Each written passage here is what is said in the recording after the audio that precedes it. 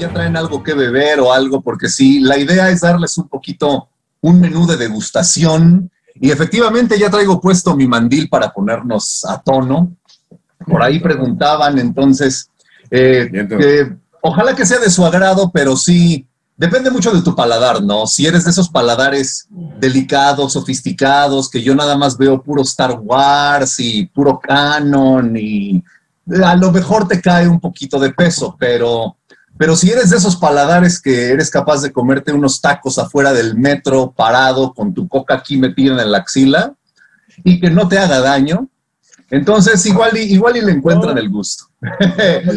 Perfecto. Así que vamos, vamos a irnos por ahí, ¿no? Para que, para que se vayan poniendo a tono. Bueno, raza y observatorio. Exactamente. Si eres capaz de sobrevivir a los hot dogs de 3 por 10 pesos, creo que este, creo que este menú de degustación sí les va a sentar bien. Los tacos de Pantitlán. pues bueno. creo que ya, ya valí.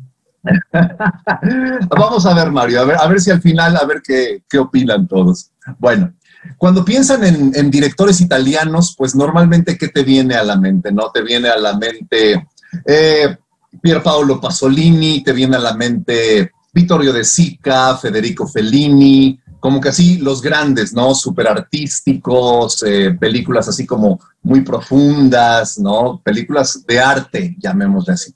Hoy vamos a ver otro aspecto italiano que no, no, va, no va de ese lado, no va de lado tan artístico, pero que no deja de tener su encanto. Y precisamente eso nos lleva a la presentación de hoy, que es un tributo al spaghetti sci-fi, que se llama Pasta, Vino y Naves Espaciales. Ojalá que sea de su agrado, ojalá que les deje con buen sabor de boca. Y vamos a empezar por la definición. ¿ok? De entrada, ¿de dónde viene el término spaghetti sci-fi? Este término, de hecho, es como una derivación de uno que se inventó antes, que es el término spaghetti western, ¿ok? ¿Qué es eso del spaghetti western? Eh, hubo una época del cine en el cual, en, principalmente en Italia y en España, empezaron a hacer películas del oeste, que hasta ese momento eran casi exclusivas del cine norteamericano. La más famosa y la que quizá la, mayoría recuerde es El bueno, el malo y el feo, de Sergio Leone, ¿no? Y lo que tenían estas películas es que, pues con, la sensibilidad italiana, pero la temática más americana, dieron una combinación interesante. Eh, tenías pues encuadres de cámara que no eran como muy vistos, las historias eran un poquito más crudas, los héroes no eran como tan buenos, buenos como en, las clásicas películas de vaqueros norteamericanas. Roy Rogers, que eran buenos, buenos. Estos personajes eran como más tridimensionales, ¿no? Tenían, tenían ahí, este, pues, agendas ocultas, tenían intereses como un poquito más, más ambiciosos. Entonces, eso, eso dio pie a un género como muy particular.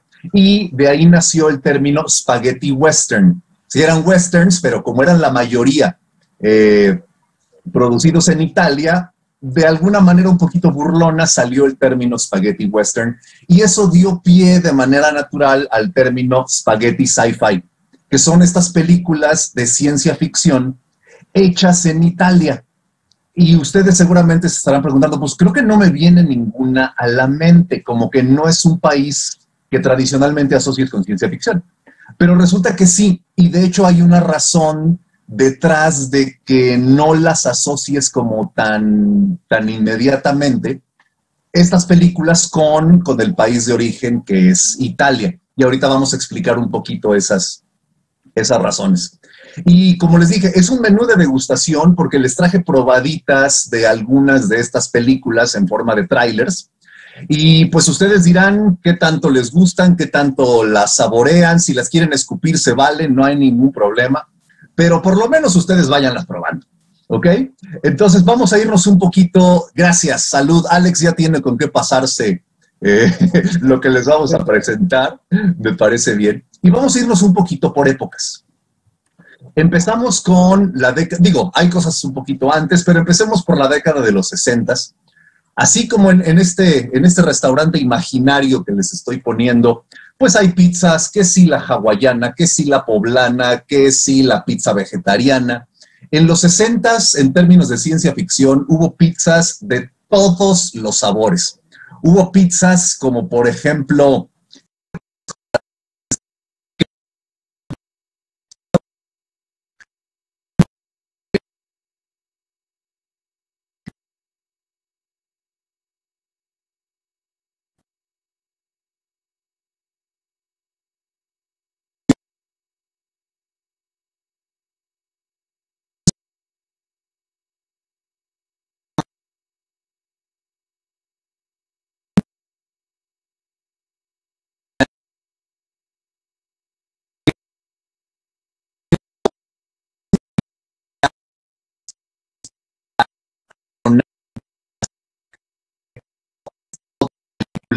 que es eh, Mission Stardust.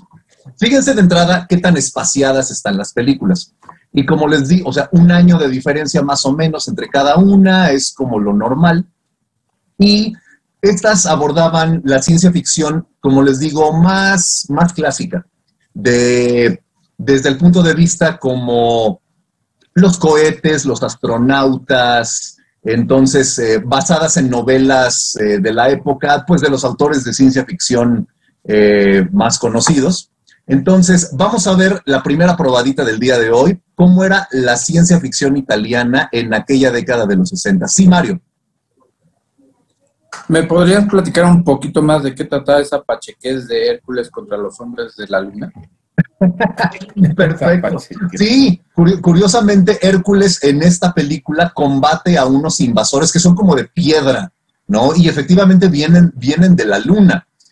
y algo, algo ya, que estás tocando el tema, fíjense, por ejemplo, en, los créditos que ves en la película, una de las razones por las cuales no asocias de manera natural estas películas con el cine italiano es porque tenían la costumbre, número uno, de contratar a actores norteamericanos o ingleses, o inclusive si eran actores italianos, se cambiaban el nombre a un nombre que sonara más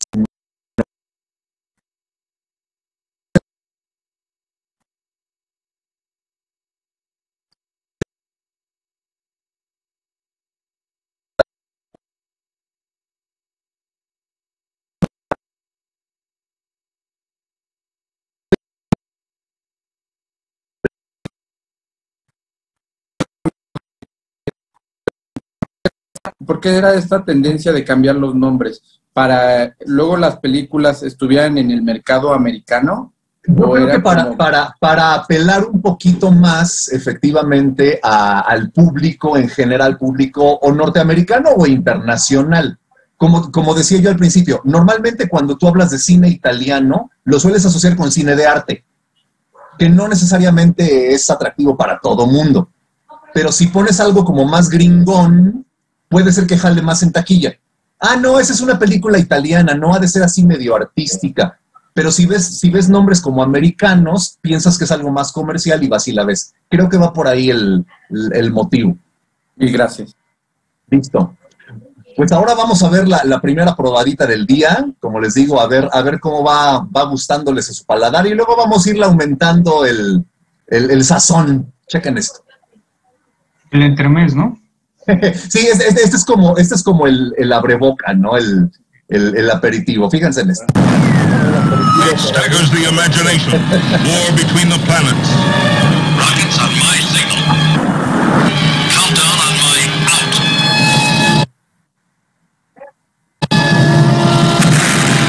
Are we trapped up here in space? There she is. Good old Gamma 1. I want to fight it with my bare hands.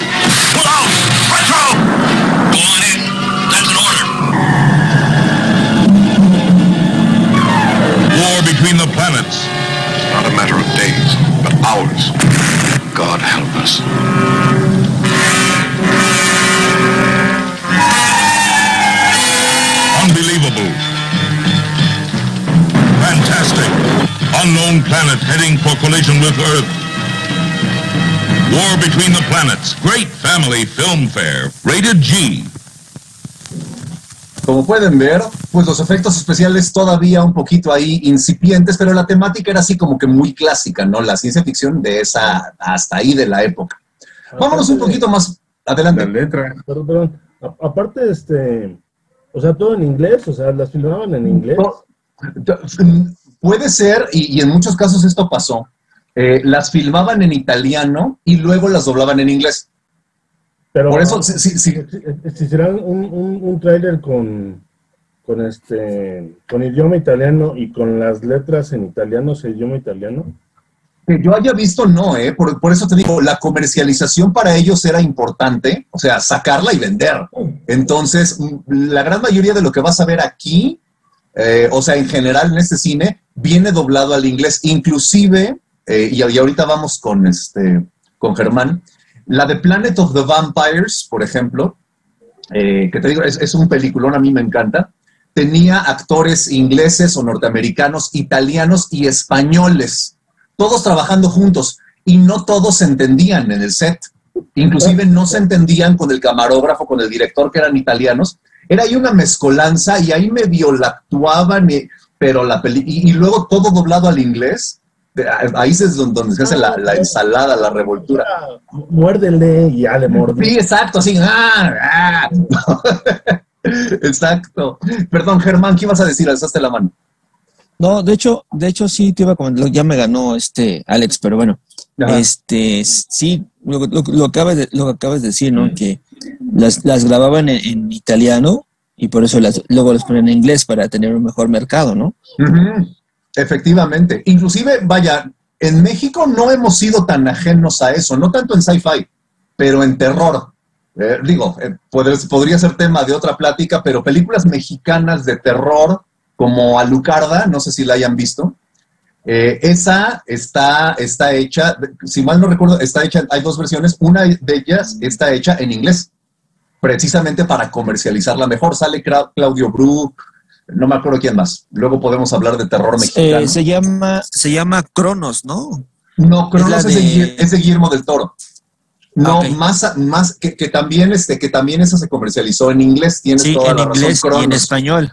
También es correcto. que O sale, sea, que sale el actor, el actor que salió en Hellboy en la primera versión. Él, y Guillermo del Toro han trabajado, pero mucho, un, un Años. ratotote. Sí. Años, sí, sí, sí. Desde, desde Cronos han trabajado juntos en Hellboy, trabajaron juntos en Pacific Rim, este, en Blade 2. Sí. Sí, por, por lo general, alguna película de Guillermo del Toro, por lo general vas a haber metido ahí a Ron Perlman, aunque sea en un papelito.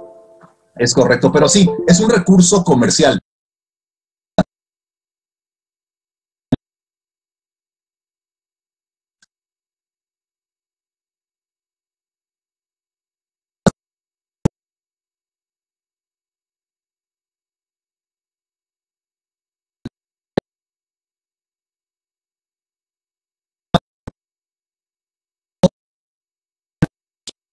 Al mercado latino, que es muy grande, canta en español. ¿No? Laura, Laura Pausini, Paus- por ejemplo. Pausini, Exacto. este, Todos esos, este Rey, no, no, no, ¿cómo se llamaba? Tiziano. Ferro. Neck, to- todos esos, de una u otra manera acaban cantando Tiziano. en español. Es más o menos lo mismo. Efectivamente. Fierro. El, el Eros, el Eros Ramazzotti también. Eros Ramazzotti cantó en español, efectivamente. Es, es, es esa idea comercial de, de ser más popular. Entonces, por eso es que las van a ver así. Y por eso es que no las asocias con cine italiano. ¿Hasta acá vamos bien?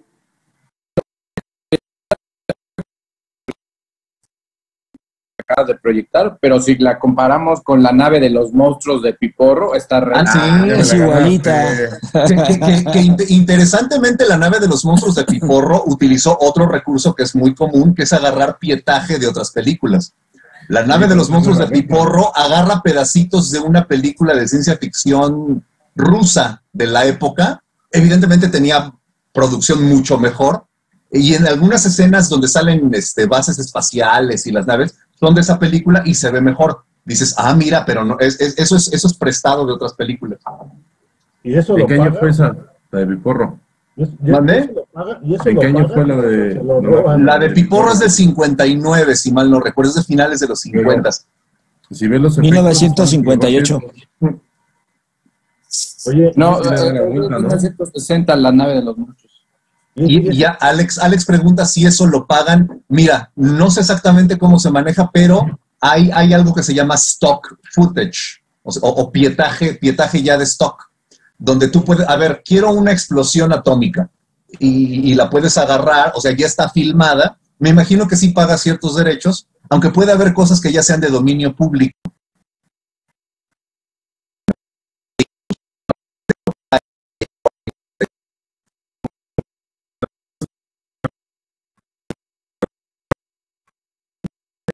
Y, y digo, si pensamos en eso, todavía eso se basó en las de Flash Gordon, ¿no? Que ya platicamos del, del tema, que esa, el, el scroll, el scroll no es original de Lucas, el scroll es de Flash Gordon. Sí, no. Sí, sí, sí. Entonces, ahorita vamos a ir a eso. Sí, Germán, Eh, es de 1960. la de la nave de los monstruos. 1960. Sí, muy divertida, la verdad. La, la verdad Sí, es que muy buena. la, química, la química entre Piporro y Lorena Velázquez este, y Ana Berta Lepe es muy buena, la verdad. Muy buena. sí. Creo, creo que le podremos dedicar otro capítulo al sci-fi mexicano porque lo hay y, es Sí. interesante también. Bueno, Tú me quieres matar, ¿verdad, Jorge Merino? Me quieres matar. Y bueno, Ru- Rubén, Rubén hablaba, Rubén ya empezó a hablar de Star Wars.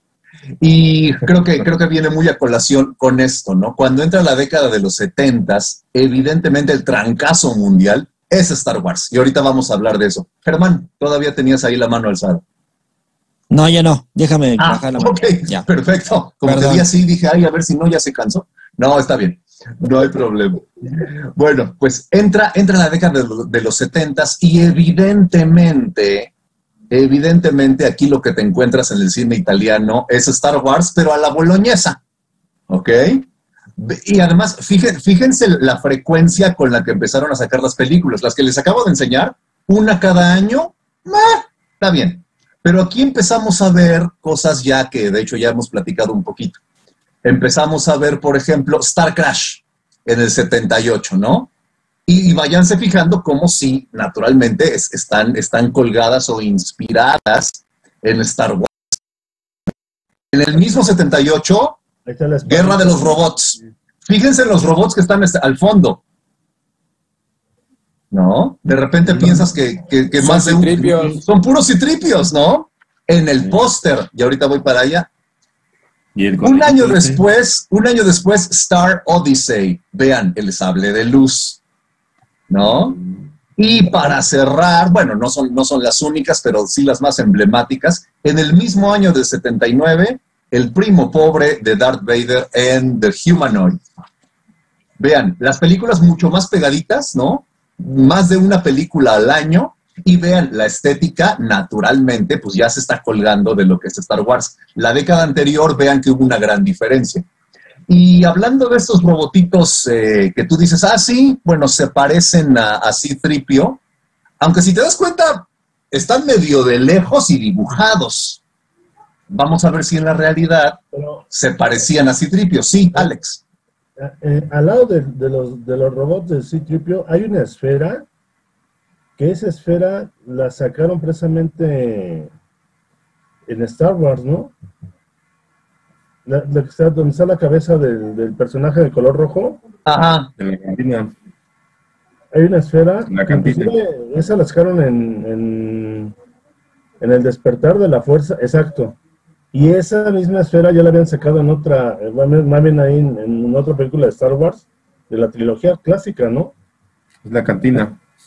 ¿Te parece mucho? Sí, se parece mucho. Sí, como te digo, luego, luego la estética hay como nada nuevo bajo el sol. Pero de veras quiero que vean, por favor, a los primos de C-Tripio, a ver si de veras se parecen tanto. Vamos a ver un pedacito de... Dale. Échate otra. Vamos a ver un pedacito de Guerra de los Robots. Ok, chequen esto. Mario, échate, acércate el Pepto Bismol, por favor, porque me, me late, me late que este, este- me late que este bocado te va a caer pesadito. Me vas a matar, Jorge Merino. Me late, me late- me late que una úlcera por ahí sí te va a salir. Por ti, Mario. Agárrate, ahí te va.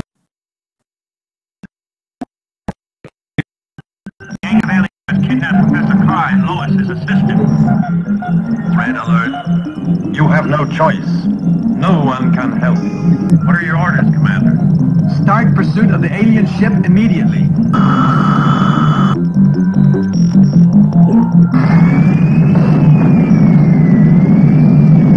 Those are two alien spaceships. Attack them.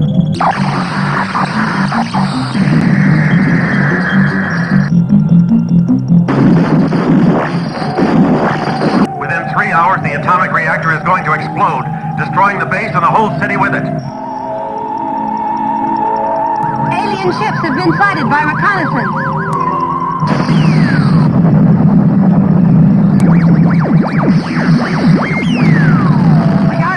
If you'll help us to get it through the satellite defense system, we'll become the absolute masters of the universe.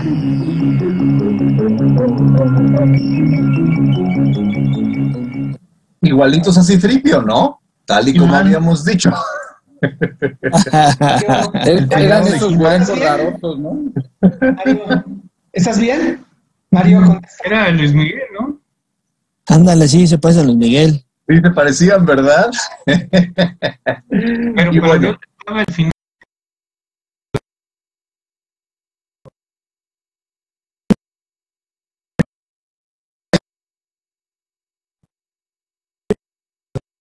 Como un Kenner, ¿no? Un, un Ken más bien, ¿no? Un Ken. Ma- Mario, ¿estás vivo?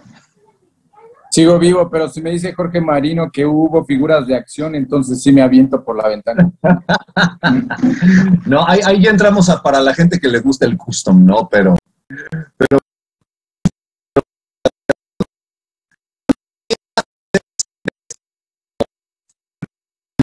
ahora sí ya vamos a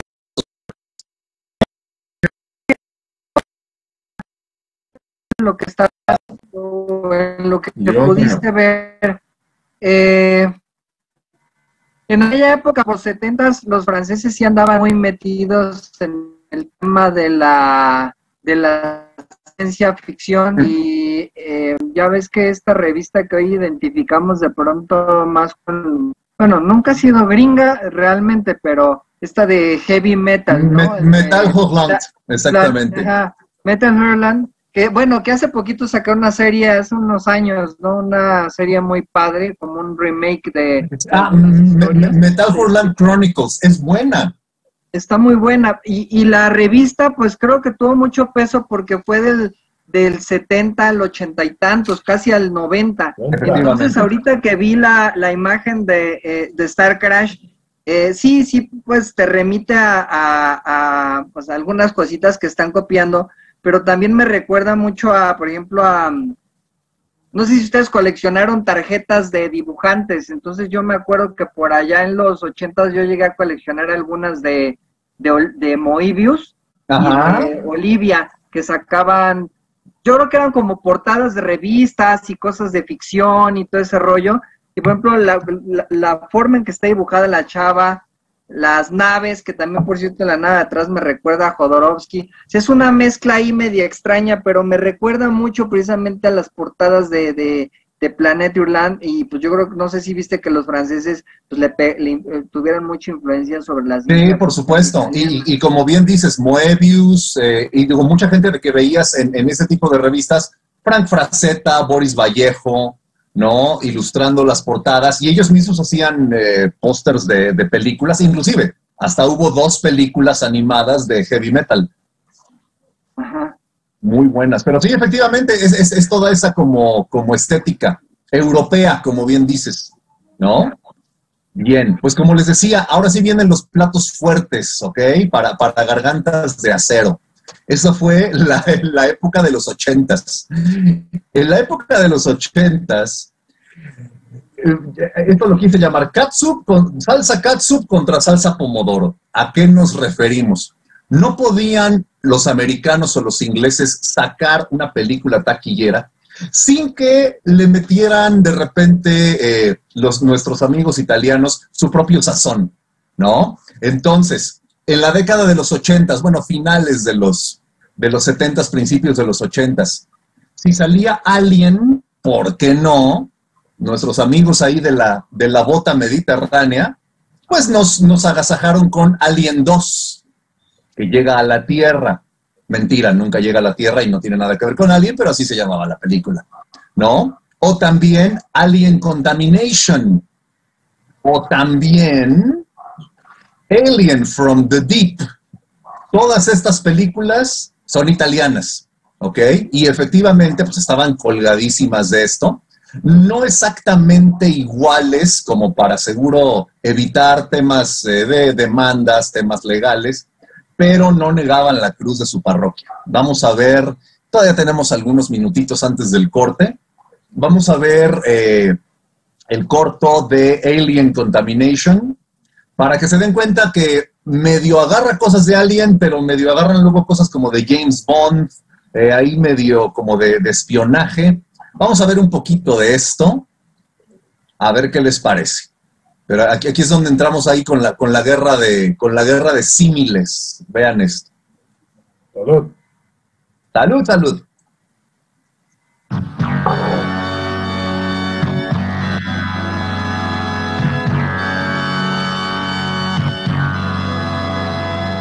Ahí no es una nave espacial, ahí es un barco. Sale más barato.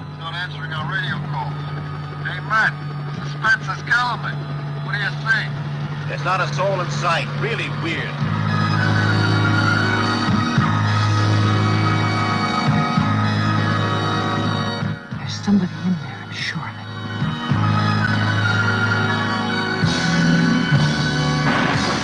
Les digo, ahí, ahí parece más como James Bond que películas de aliens. Pero también explotan.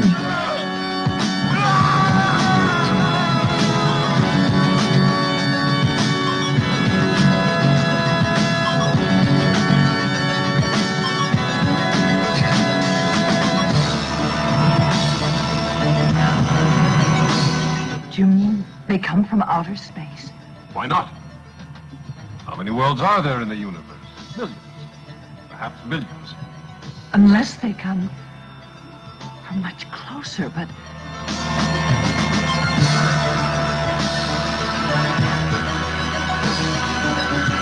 Mars has always stimulated man's imagination. But as far as that cave was concerned, there was absolutely nothing in there. you were telling the truth all along. But these are photographs. But there hasn't been another expedition to Mars. No. These were found here, on Earth. Thousands of them. The woman is Stella Holmes, a first-class mind.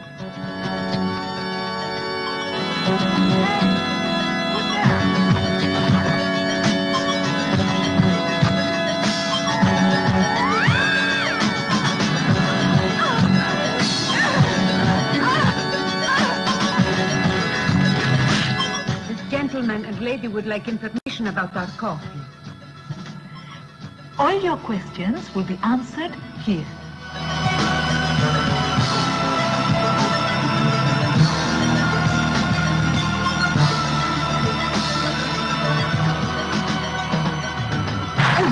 Oh, it's too late. Hamilton has got your friends.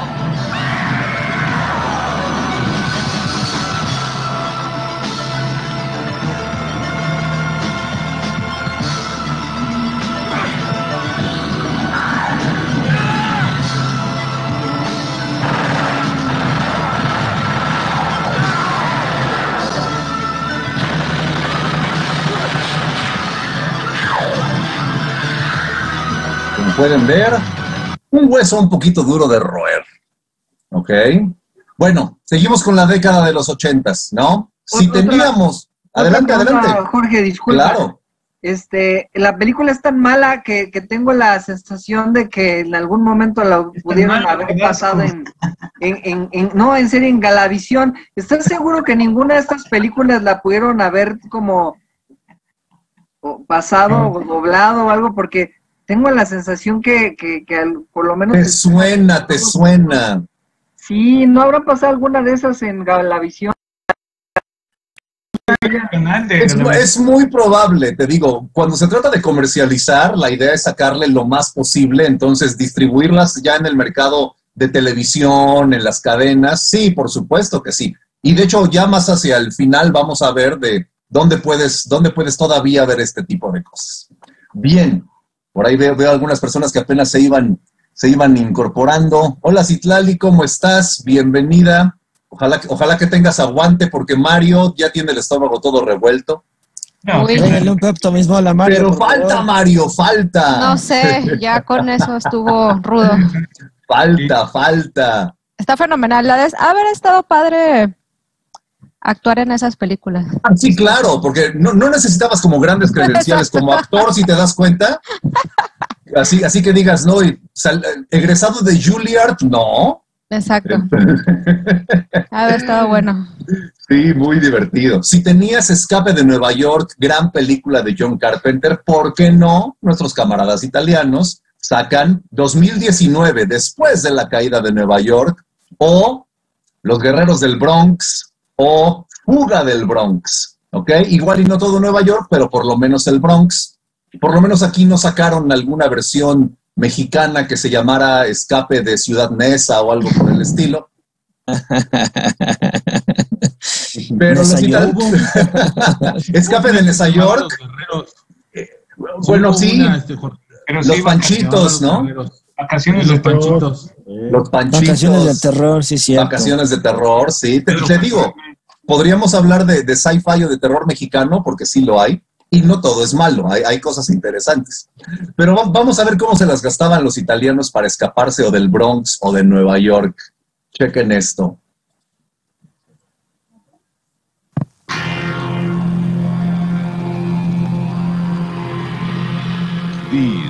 Are the weapons. Ya me dio miedo. These are the warriors. This is the final battlefield.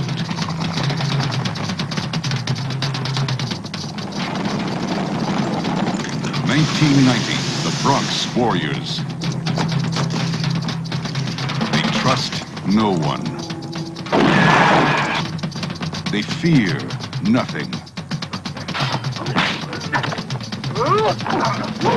They walk with death. Those who follow them will survive. Those who challenge them will die. You will see the future. You will be afraid. The first to die will be the lucky ones. 1990, the Bronx Warriors. They walk with death. Bien. Sospecho que sí ganó varios Óscares esa película. Pero ¿vi- ¿vieron cómo se esfuerzan porque parezcan películas americanas? Sí.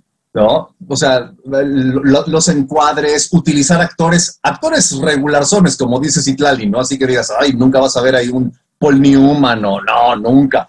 Pero son actores americanos, ¿no? Entonces se esforzaban por, por hacer que sus, sus producciones fueran atractivas a ese mercado. Ahí es donde estaba el dinero.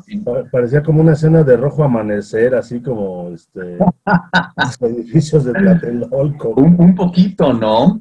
Bueno, digo, ya, ya tenemos como un minuto. Todavía tengo un par de bocadillos ahí para ustedes. No sé si quieran que, que cortemos de una vez para que aprovechen y puedan ir al baño. Pues a lo mejor hacer más lugar, a- no sé, si quieren, a, a descomer un poquito, porque to- todavía, tengo, todavía tengo más cosas para ustedes. Yo mientras pido otra orden. Ándale, trá- tráiganse su Pepto Bismol, de ¿por qué estás en los tacos? sal de uvas Si son picot. espadas, si son espadas, porque- yo tengo todavía la verde, la tarjeta verde. Tú échale, échale, échale. Perfecto. ¿Qué dijiste, Toño? ¿Que no te escuchamos? Estoy transmitiendo desde aquí. Sí, creo, que- creo que sí le dio hambre el, creo que sí le dio hambre Antojando la nada más. Qué mala onda. Tres al pastor y una gringa, por favor. Estamos, estamos en el. Pues vamos al, inter- vamos al intermedio, tráiganse sus bocadillos y ahorita continuamos. ¿va?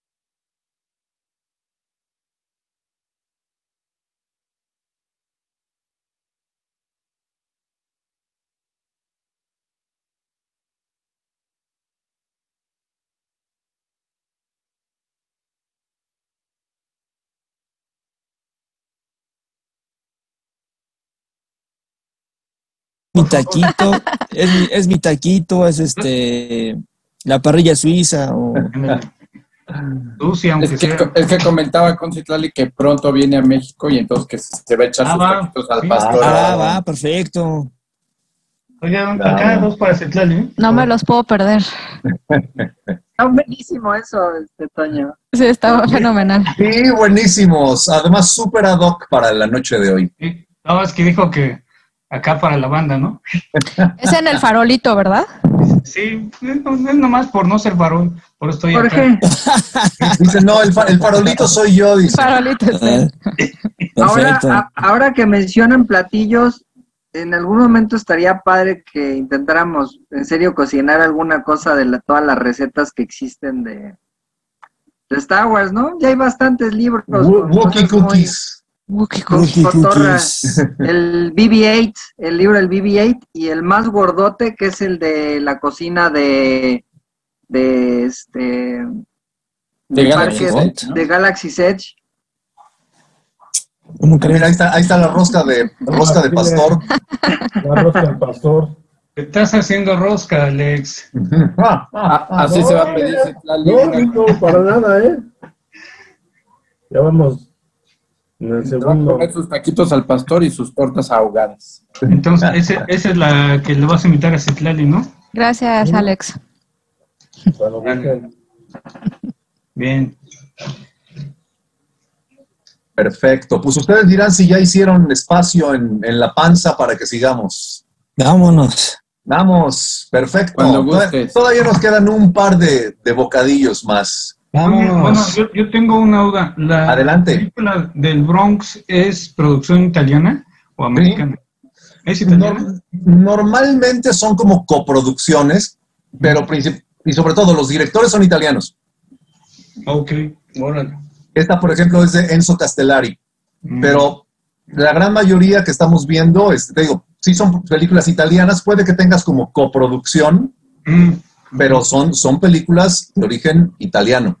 Y no lo parece porque los actores son americanos, ¿no? las, las locaciones son en Estados Unidos, por eso como que te sacan de, oye, ¿a poco es una película italiana? Pero sí lo es, sí es una película italiana. Muy chistoso. Bueno, pues vamos a continuarle. Sí, adelante. Una duda. Por supuesto. ¿Por qué los, por qué los trajes de, de las películas de 70, 60 siempre radican sus colores en plateado? ¿Sabrás esa causa? Yo, yo creo que en, esa época, y sobre todo antes de, de Star Wars, que fue, que fue un parteaguas en ese sentido, así es como inclusive en las novelas de ciencia ficción, así se veía el futuro, ¿no? Piensa en los supersónicos, piensa en Perdidos en el Espacio, ¿no? La serie de los 60s. Ese- esa era la estética del futuro. Y de hecho, Star Wars fue, fue revolucionario en ese sentido porque se alejó de eso. Se rompió, se- se- se alejó de esa estética muy limpiecita, ¿no? Este, líneas muy rectas. Este, este concepto del futuro usado eh, era revolucionario para la época y por eso jaló tanto, para eso, por eso llamó tanto la atención, porque, porque rompía con, con esa idea del futuro. Y venos ahorita, ahorita ya estamos más allá de lo que muchas películas decían, el año 2000 es el futuro, ¿no? El 2019 es el futuro. Ya pasó y ninguno de nosotros está utilizando overoles plateados, ni, ni, ni cascos así de, de bola, ni nada de eso. Hombreras ¿Ah, no? de llanta. ¿no? Exacto, hombreras de llantas, sí. Espera, espera momento. Pues qué aburridos. Unos años. Ya ¿Cómo que ya aburridos? estás utilizando máscara. Sí, eso sí, espérate, ¿eh? para, espérate para el año 3000, vas a ver. Eso, eso sí, ya, estamos usando máscaras para salir a la calle. Eso es por- en Blade Runner sí veías ese tipo de cosas. Sí, claro. En Blade Runner sí veías eso. Es- eso sí te pone como que ajijo. Sí, yo, yo te preguntaba porque la estética de la película esta italiana del Bronx me, me recordó a la de, y esa sí fue taquillera, la de Free Jack con Free Jack el Inmortal, sí, con este, con Mick Jagger. Mick Jagger, sí. Sale Entonces, Mick Jagger, sale Emilio Esteves, Anthony Hopkins. sí. La verdad es que yo, yo esa película sí la disfruté y aunque era un futuro supuestamente no muy lejano, pero te presentaba un futuro que era más este real, ¿no? Más policíaco. Sí, o sea, son, cosas que decías, esto en un par de años sí, sí lo veo como viable, sí es cierto. Exacto. Sí, es Entonces, cierto. Y, no- es interesante la película, no es un peliculón, pero, Hay pero cumple. Exacto, ahí se podría eh, hacer como un apartado, ¿no? De películas donde sí tendrían que ver con lo que ahora ya en el 2021 podríamos vivir, o que era 2019, Ok. como, como la de El Demoledor, con este eh, Silvestre Con Stallone, sí, claro. Este Stallone, sí, cierto, La- que, es el Ok. 2000, que es el 2019, ¿no? Algo así. Las videoconferencias que, que se ven ahí en el escritorio. pues Ya ya- existe. ¿no? Sí, Sí, sí, cierto. Pero bueno, Mario, Mario, si, si, si nos haces favor, Mario, de apuntar a Toño con una exposición sobre, sobre cosas, cosas futuristas que ya sucedieron. Sí, no, sí, Muy bien. sí, Porque, porque ahí, ahí hay tela de dónde cortar, ¿no? Y, y es buen Sí. tema, me gusta.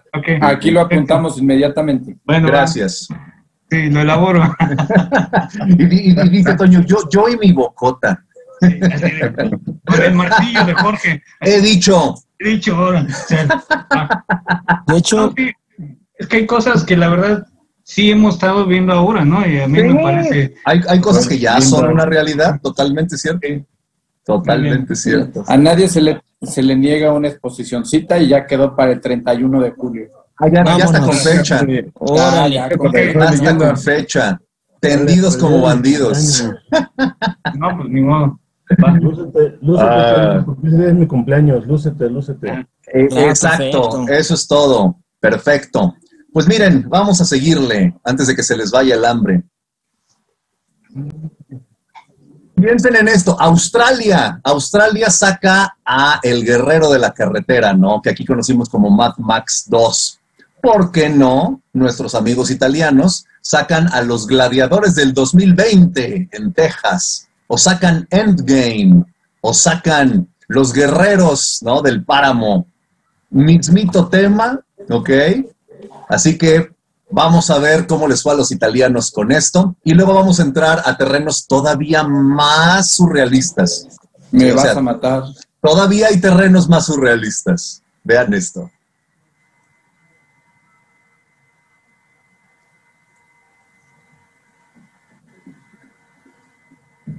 Ahí está la bomba atómica, es una maravilla.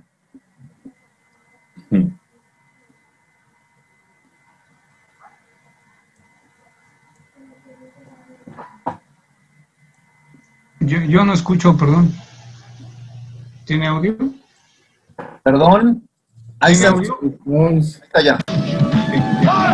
No, esas, esas sombreras son ocho- You women are getting rare. What are you doing? Invasión extraterrestre.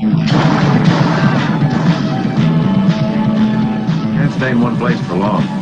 Too many people running after me.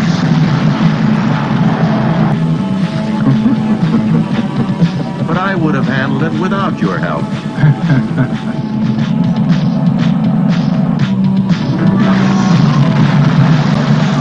Use that anger.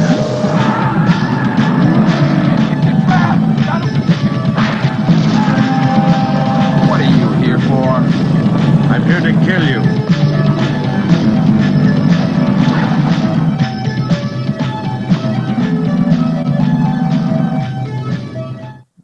Mad Max a la italiana. El- el- Creo que Citlali está llorando. Es el que sale en eh, Crepúsculo al amanecer, ¿no? El actor moreno. Sí, Es Fred sí, Williamson, sí, sí, efectivamente, es Fred Williamson, el, el del puro. ¿cierto? ¿Sí es él? Totalmente. Con razón se me hacía conocido. Yo dije. ¿ese, dónde, ese moreno, ¿dónde lo he visto? Es él, es él, efectivamente es Fred Williamson. Muy bien, muy bien, perfecto. Bueno, ¿listos para entrar en terrenos auténticamente extraños? Bueno, ¿Más? ya pasó, ya más, hay más, es una maravilla. Estamos entrando al terreno de las ensaladas, ¿ok? Y aquí les traje para degustar dos ensaladas. Una ensalada que se llama Shocking Dark, generosa porción de aliens, con un aderezo de Terminator. Y si te dan, ¿de, de veras existe algo así? ¿Existe algo así? ¿Que sirve Fíjense, en plato grande o chico? eh, eso ya es al gusto de cada quien. Si te quieres servir con la cuchara grande, nada más te digo, no te vaya a caer de peso, pero chequen esto por amor de Dios. Chequen esto por amor de Dios. Y, cu- y cu- y cuando la vean, van a ver que la descripción sí es lo que les estoy prometiendo.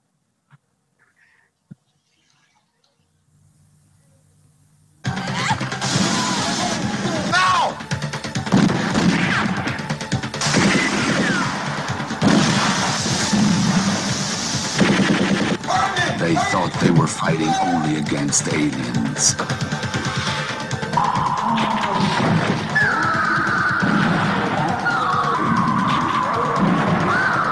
They were sure that they had won their battle, but they were mistaken.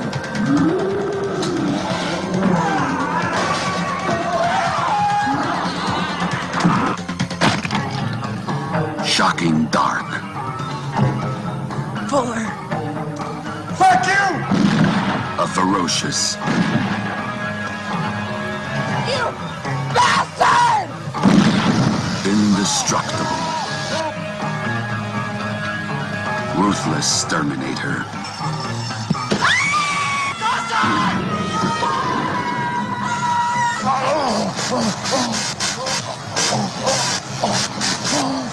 Shocking dark. Pero si realmente... Jo- Jorge, ¿has- ¿has visto esa película verdaderamente? Eh, completa no, pero ya la tengo en mi radar, por supuesto. No, no, pero es que quería yo que me, que me platicaras por qué hay aliens y por qué hay terminators. Porque, porque, porque se puede. ¿Por qué no? ¿Por qué no? Efectivamente. No, pero, pero mira, Mario, si te acuerdas, la, la vez pasada Jorge nos platicaba que sub- subtitulabas, ¿no? Las películas. Sí, en, en alguna época hice subtitulaje, sí. Pero nos comentaba que verdaderamente hay películas que pues se hacen porque la gente las ve, las compra, la verdad sí las consume. O sea, son, son películas como de Betamax o no sé, Betamax. Videomax, de Videomax, Videomax, ¿no? Bueno, las, las que, la, la- la compañía para la que yo trabajaba en esa época era, era Videomax, Ah, efectivamente. bueno, era Videomax. Yo me acuerdo que las veía en Videocentro y decía, no, no las voy a ver, pero... pero ahí estaban, sí las rentaban. Sí. Exacto. Ahí estaban. Exacto. Ay, ajá, el primo de un amigo la rentaba. Ay. Sí, el primo del amigo que trabajaba en la Ford. Exacto. Vieron, no sé si vieron en el detalle que al principio del tráiler aparece una puerta redonda que se parece mucho a la puerta de... Odisea del espacio. No, no, no, no, no, la, la, la de este... Darth Vader.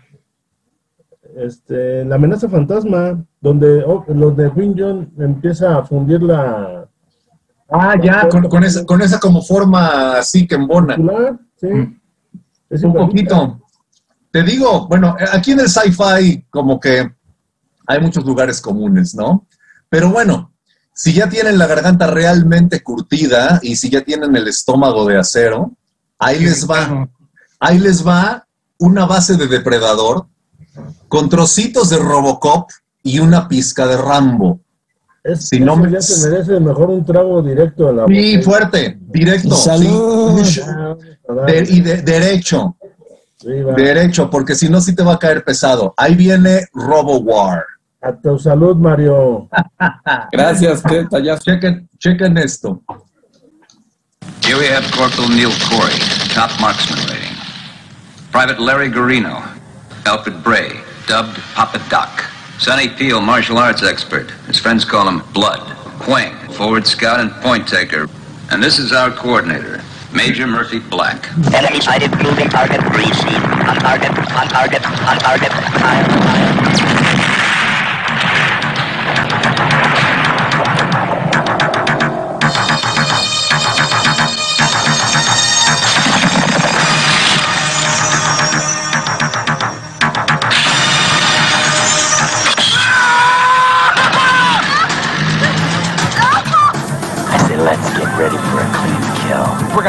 Settling some accounts here.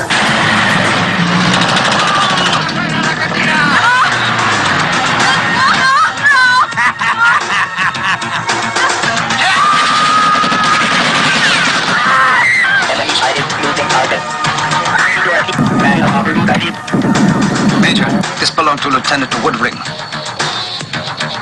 Remember him?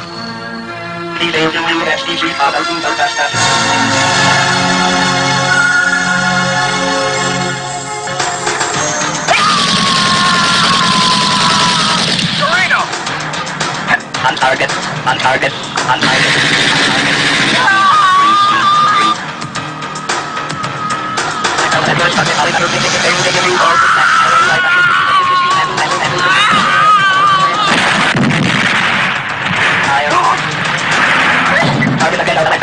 Keep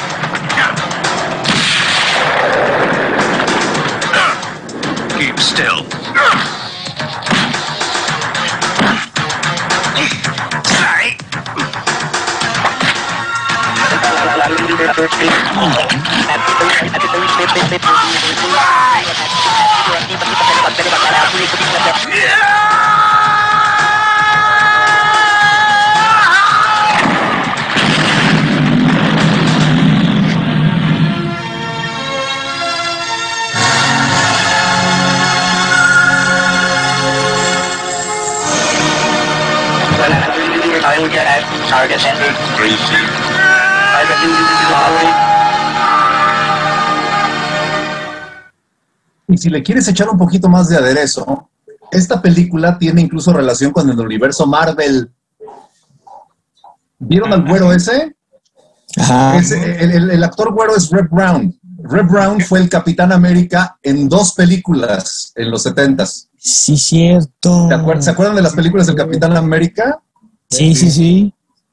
Dice Citlali, no se acuerda. Luego hablamos de las películas. Y, y no me estoy refiriendo a la del 94, que fue esta de, No, de es- Albert es Pion. antes. Dos películas antes, que es Ah, el sí, Capitán América con, con casco de motociclista.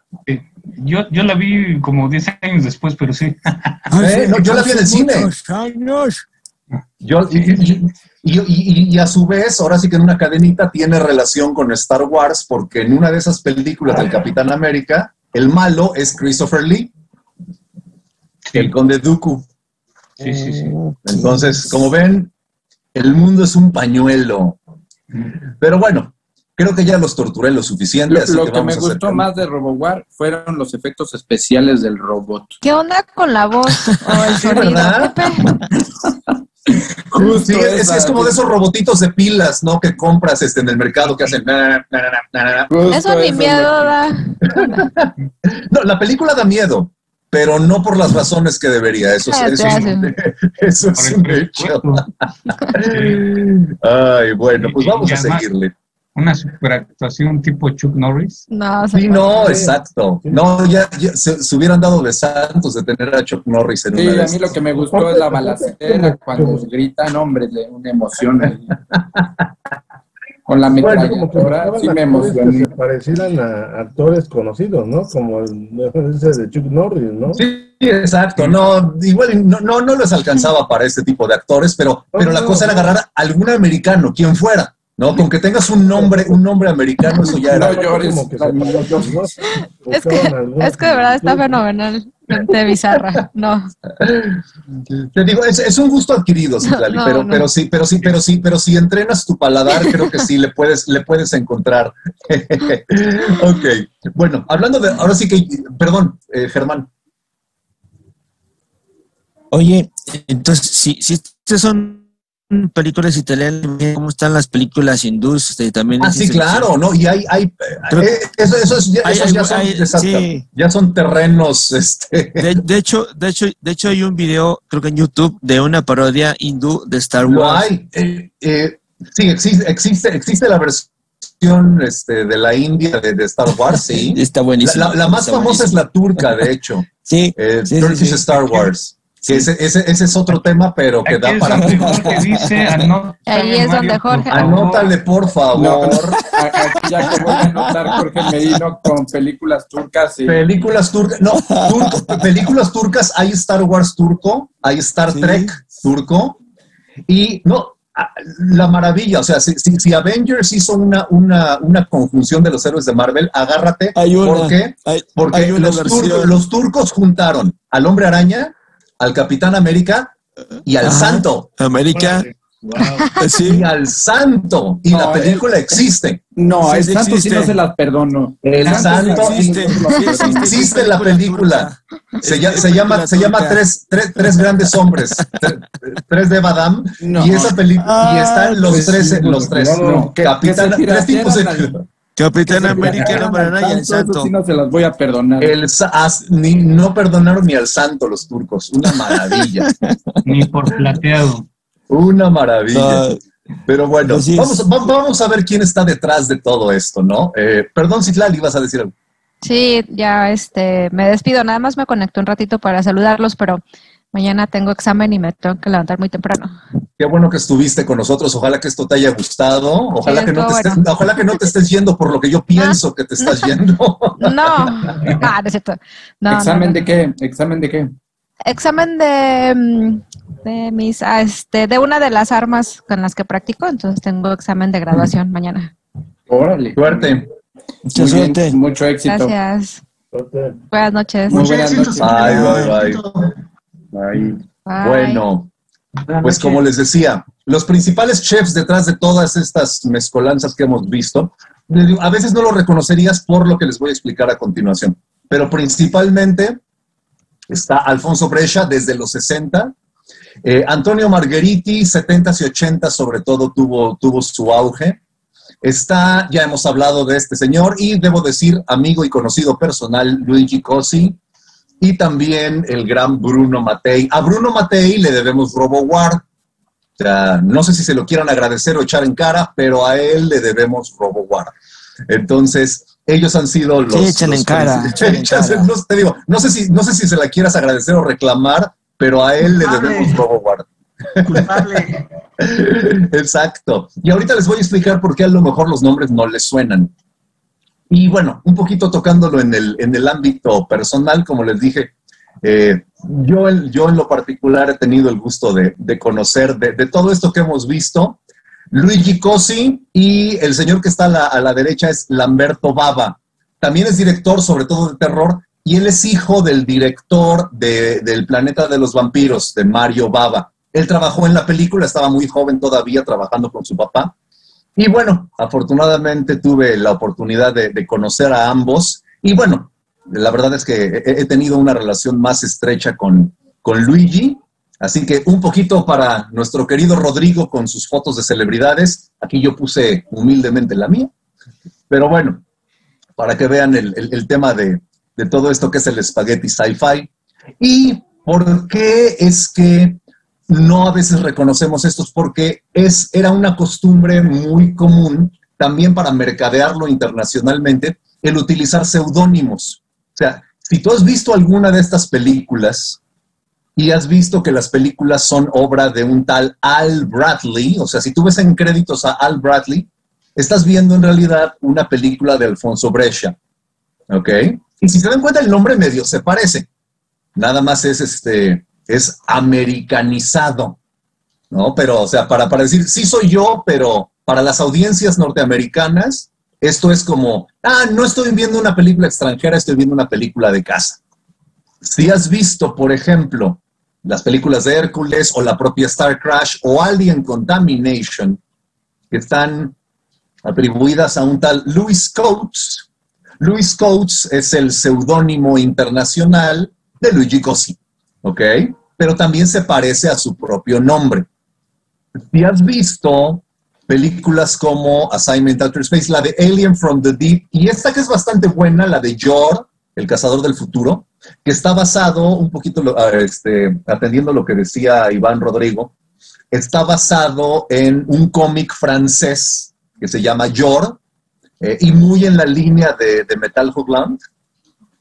Si has visto películas de Anthony M. Dawson, en realidad lo que has visto son películas de Antonio Margheriti.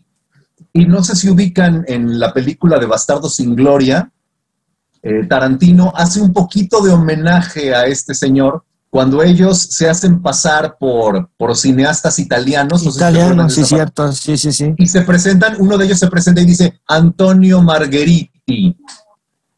Es un homenaje a este director italiano. Así como un poquito homenaje a la parte mexicana. Se acordarán que uno de los personajes de Bastardo sin Gloria se llama Hugo Stiglitz como el actor mexicano Hugo Stiglitz de Tintorera, salió en películas italianas también Hugo Stiglitz. O sea, Tarantino es muy fan de este tipo de cine y en sus propias películas le ha hecho homenaje también. Y bueno, si quieren servicio a domicilio, algo para llevar de todo este menú que les ofrecí, eh, está en YouTube. Gran parte de estas películas las encuentras totalmente gratis y completas en YouTube. Nada más tienes que buscarle como Italian Sci-Fi, así como un criterio amplio de búsqueda, y muchas de estas te van a salir para que las puedas ver y disfrutar o reírte o burlarte de ellas a tu gusto, pero disponibles están. Y pues bueno, ojalá que esta, este menú de degustación haya sido de su agrado y lo único que puedo decirles ahorita es grazie. Espero que les haya, les haya agradado. Muchas gracias. creo que nos Bravo, nos- Tú te ves esto. Te digo, si, si- si- si no le agarraste el gusto, por lo menos espero que se hayan divertido.